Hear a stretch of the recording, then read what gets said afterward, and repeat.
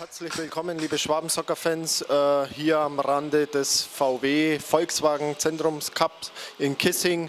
Hier bei mir jetzt der Mario Borelli, Abteilungsleiter des Kissinger SC und der Trainer Jochen Hoffmann. Ja, herzlich willkommen, Jungs.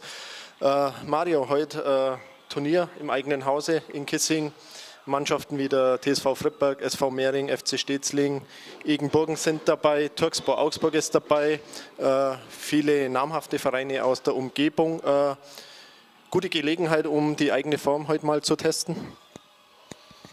Ja, gute Gelegenheit, um die eigene Form zu testen, na klar. Aber uns war halt wichtig, dass wir so ein Turnier mal in Kissing äh, vorbereiten können oder stattfinden lassen können. Und äh, ich glaube, das ist auch geglückt. Das Wetter spielt mit und äh, es ist nicht nur für uns für die Vorbereitung, sondern auch für die anderen Mannschaften, dass wir mal im Wettbewerb die Vorbereitung durchziehen können und nicht nur immer nur Vorbereitungsspiele, sondern da geht es ja auch um was und, äh, und denke, dass es auch für die anderen Mannschaften gelegen kommt.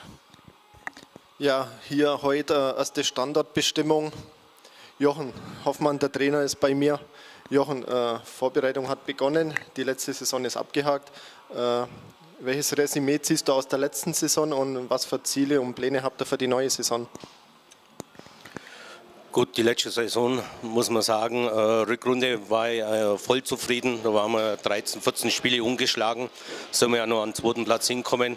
Vorrunde hat es nicht ganz so passt. Da haben wir teilweise unglücklich äh, Spiele verloren oder, oder Torschancen nicht äh, ausgenutzt, das Ganze. Und deswegen sind wir da nicht so vorankommen. Und, und die fünf, sechs Punkte, was wir in der Vorrunde haben liegen lassen, die haben uns dann natürlich am Schluss gefehlt. Aber äh, wiederum äh, haben wir eine relativ junge Mannschaft und äh, wir haben sechs, sieben eigene äh, Spieler von der eigenen Jugend, die letztendlich jetzt Stammspieler sind, die sich da gefestigt haben und äh, auf die bauen wir heuer wieder und die müssen sauber Gas geben und dass sie dann auch richtig so Führungsspieler werden bei Kissing, dann schaut es in zwei, drei, vier Jahren in Kissing recht gut aus, dass man die eigenen Spieler, wo man in der Jugend hat, dass man die hochbringt und ja, da sind wir aber glaube ich schon auf einem guten Weg.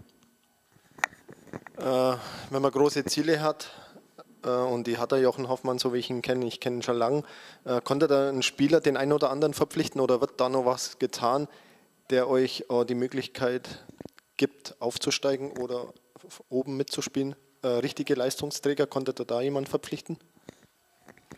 Ja, wir haben jetzt mit dem äh, Voyage, der von Stetzling gekommen ist, und mit dem Gentgen von SV Mehring haben wir schon zwei Spieler, äh, auf die wir bauen und die klassisch schon bewiesen haben bei den Vereinen. Äh, wiederum bauen wir auch auf die eigenen Spieler. Wir haben einen großen Kader, wir haben drei Mannschaften, wir haben 40, 50 Spieler und von der zweiten kann man auch nur äh, zwei, drei mit hochnehmen.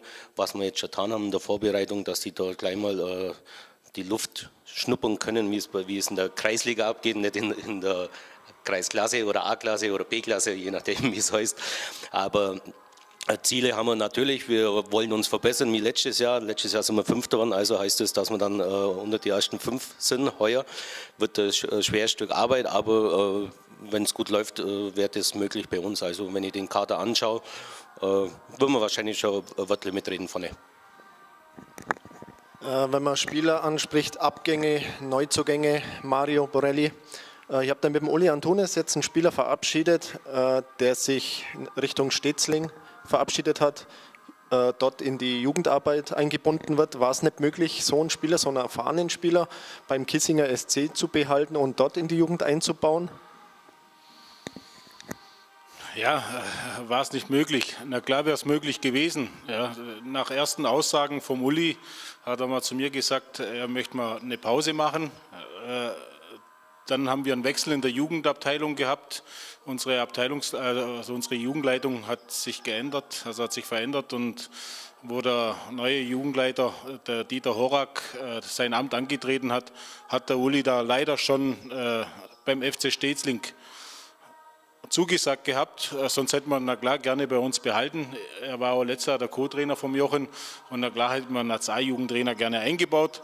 Aber wie gesagt, da war es schon zu spät. Da ist ein bisschen verschlafen worden von unserer Seite, dass man so einen Mann äh, und so einen erfahrenen Fußballer äh, in Kissing verloren hat. Ja, das tut mir persönlich weh, aber äh, man sieht sich bestimmt mal wieder und äh, ich glaube auch, dass der Uli irgendwann mal wieder zu uns zurückkommt und Wie gesagt, auch in Stetzling, da trainiert er die BOL. A-Jugend ist auch eine größere Herausforderung. Und äh, an dieser Seite, also an dieser Stelle möchte ich Uli auch alles Gute wünsche, wünschen äh, beim FC Stetzling, so wie alle anderen Abgänge, wo wir gehabt haben. Möchte auch alles Gute wünschen und vielleicht sehen wir sich ja irgendwann mal wieder. Gut, das war's vom Kissinger SC. Mario Borelli, Borelli, Dankeschön. Und Jochen Hoffmann, der Trainer. Wir wünschen euch eine gute Saison, verletzungsfreie Saison und vielleicht klappt es ja heuer dann mit dem Aufstieg.